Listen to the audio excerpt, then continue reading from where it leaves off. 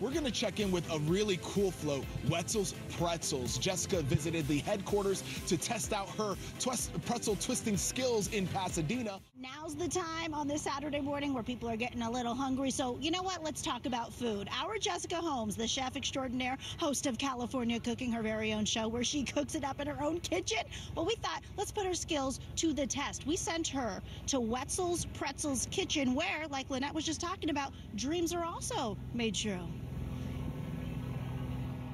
Throughout history, the pretzel has been a symbol of success and prosperity. So, how do you succeed with pretzels? First, you have to dream. And in 1994, Bill Phelps and Rick Wetzel dreamed big. They were determined to change pretzels forever by baking them fresh in the store instead of a factory. And when they opened the doors of their first shop in Redondo Beach, California, the smell of oven fresh pretzels attracted customers by the hundreds. Jessica Holmes went to Wetzel's headquarters in Pasadena to see if they still have big dreams and big ideas. What we did during the pandemic, we said, how can we reinvent ourselves when we come out of this? What else can we do with a pretzel? Can we twist it into an ice cream cone? Can we layer it with toppings? it turns out you can. This is where the magic this happens. This is where the magic happens. Yeah. And is it a secret recipe?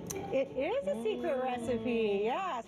Step two for pretzel success believe. Twisting your dreams into reality can be a lot of work, and it all starts with making pretzels. So, Paige, what's your story? You've been working with Wetzel's Pretzel since you were a teenager. I was able to go to college and be a manager at the same time. So, And now she's going to have her own store. I'm impressed. So, what's the trick? so you want to, you know, roll it out, make sure your ends are thin. Yep. And then you kind of throw it with the right hand over the left. It's like a lasso. Yeah. And then it naturally falls, and then you can just tuck your feet. These are called the feet. All right, all right. I'm, I'm okay. Just the bow. The bow. Here? Yeah, So sweet. just like this, right over left. Okay, and then you plop. There's a plop. Well, I can't. That's like a pro move, actually. Yeah? What you just did? Yeah, Really? totally. Yeah. Yeah. Yeah. But you know what? After a while, there is something kind Yeah, you of. got it. Just, there you go. Okay. Ah, you got it. How can you tell if you achieve success? Is it a perfect pretzel, a prosperous company? Perhaps success is something a bit more meaningful. This year's theme, Dream, Believe, Achieve, really spoke to us, right? All of our locations are owner operated.